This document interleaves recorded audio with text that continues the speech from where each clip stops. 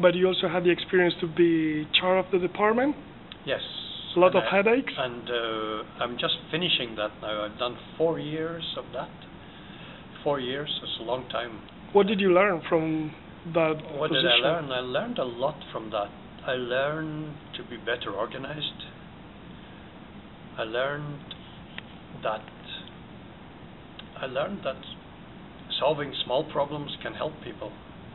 Like for example, Well, a lot of professors in the, in my department. It's a very large department. There was 50 professors, 50, and about 20 scientists, and everybody has some kind of problem, and they come to the head of department to try to solve uh, problems. At least, Uh, if they're not personal, at least they come.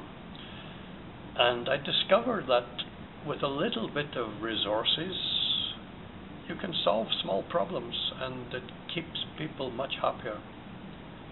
Um, I discovered that. and what do you mean also that you learned to be more organized? I mean, by being more organized, I mean I learned to plan out my day. Uh, there maybe I decide that there's three things I want to do today to complete.